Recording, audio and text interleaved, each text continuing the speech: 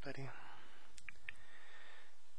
I wanted to share with you something um, amazing, truly amazing, that I experienced yesterday. It's a little sad, um, but I've really been impressed, motivated, inspired by others sharing on their whispering channels um, their lives. Stories both mundane and quite significant. I don't know how to classify my experience for anyone else, but for me it was it was really amazing. My mother and father were never married. My dad had always been around in my life, but our relationship has always been awkward and strained. He means well. He definitely means well. Um, so that's all I'll say about him. So growing up throughout my life, my mom would have one boyfriend or another. And one in particular had been around for the last 20 years or so, off and on. He's about 20 years older, maybe 25 years now that I think about it, older than my mother. He recently turned 81. And he was a character who, when he was, oh, I don't know, 72, could still kick my butt. He grew up um, a long time ago, obviously, and he grew up tough. At 16, he was a um, boxer for money he worked at an ice house where he had to actually carry these huge blocks of ice. He worked at a lumber mill, and he told me the smells coming from that mill were the worst he ever encountered in his life. So he and my mom struck a very interesting pair. And throughout their off and on 20 years, they would be happy or fighting, usually drunk during both. But over the past five years or so, while still being very active, he had slowed down some, and their relationship was no longer romantic, but more like old, fuddy-duddy, crabby, comfortable roommates. So if I say he's my stepfather, or like my stepfather, I think you will all understand. Well, a month or so ago, he was outside helping somebody, and his foot snagged on something, and he fell and he cracked his hip. And often that is the beginning of a downward spiral for someone who's older. And such has been the case with him. He went into the hospital and they were able to insert two screws as opposed to doing a total hip replacement he didn't uh, enjoy his various hospital stays. But during that time, I would visit him, and while he was being somewhat confused, uh, perhaps because of pain medication, perhaps because of the experience of just being there, he came to express his fears. Fears of being alone. Um, just fear. And that's something I had never heard from him before. This was a tough guy who could kick my ass, maybe even at 80, um, before the fall. And now, here was a man telling me he was afraid and lonely. Well, he was able to eventually be moved from the hospital and go into a rehab facility. And then from the rehab facility, we were able to get him home. The day we got him home, he was uh, afraid, agitated, convinced they were not going to actually let him leave, that it was some sort of trick, and they were going to keep him there forever. I sent my mom home because this has been tough for her. Um, I could talk for hours and days and weeks and years about my relationship with my mother.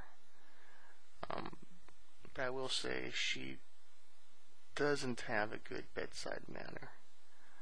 Um, doesn't mean she doesn't care. It just means at some point um, I had to send her home. She she was.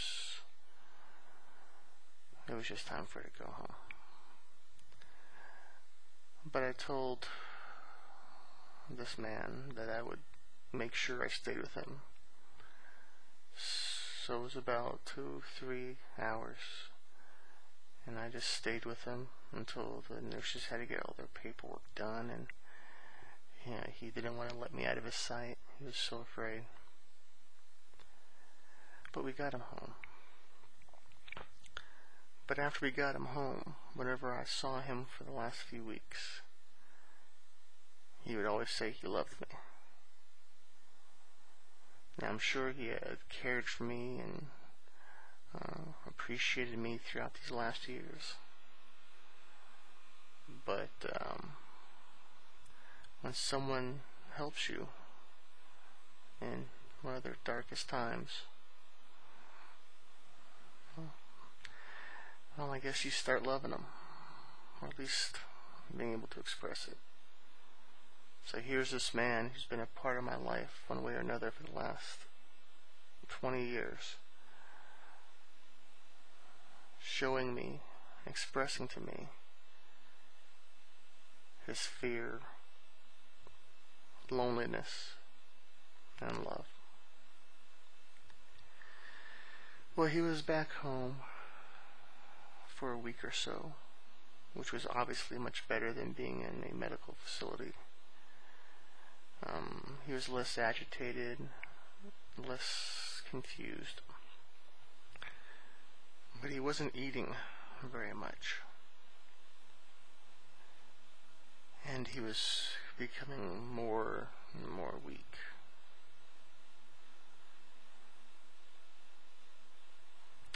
Well, he stumbled, probably from weakness more so than um, tripping or anything like that.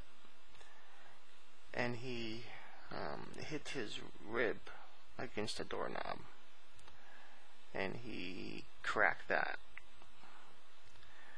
So last Thursday, he went into another hospital. And I visited I visited him the following day, and he was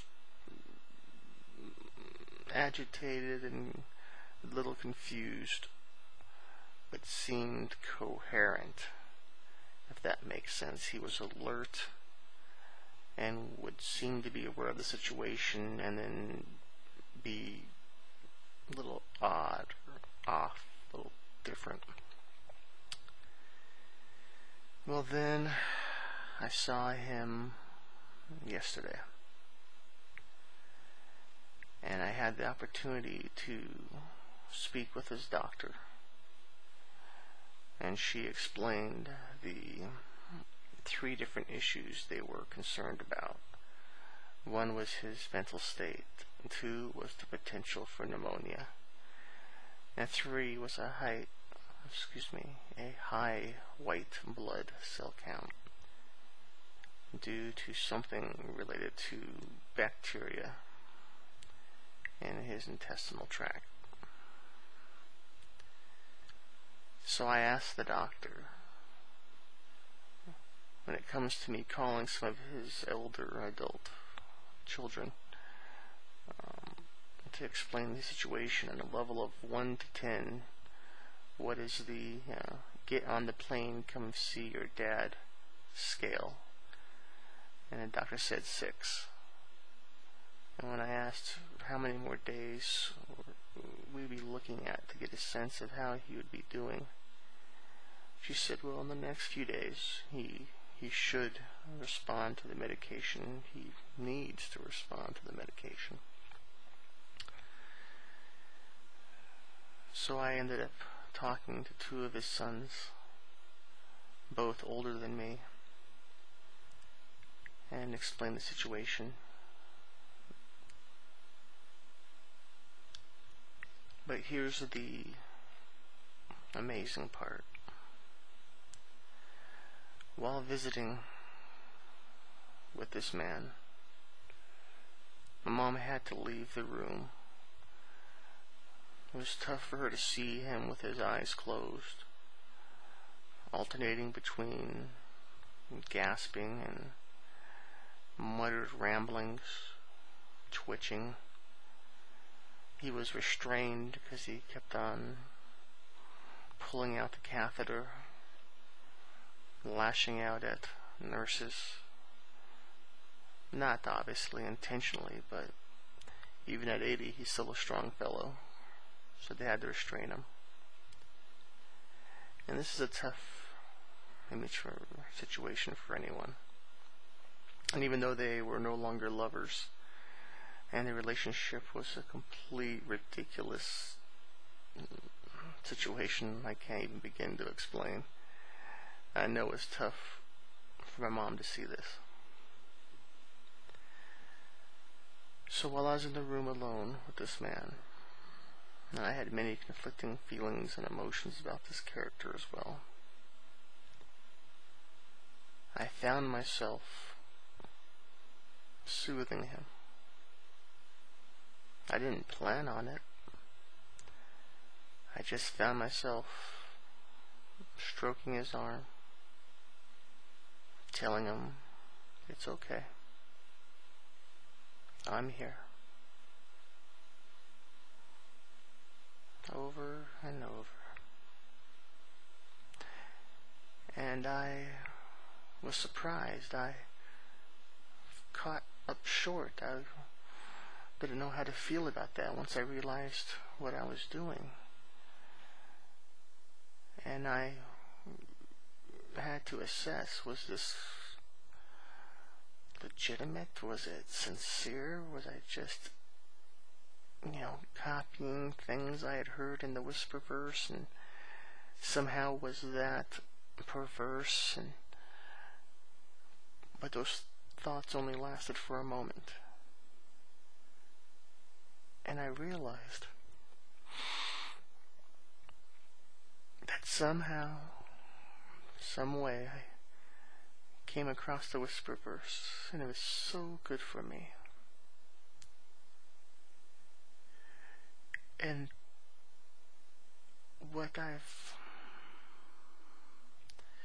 the gift the gift that I've received from the Whisperverse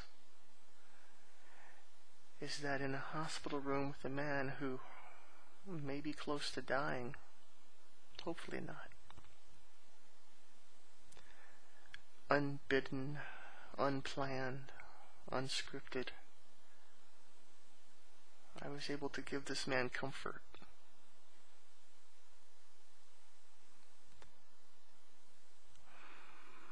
In a way I never could have before. And it was comforting to me. I'm very grateful. Thank you. Bye.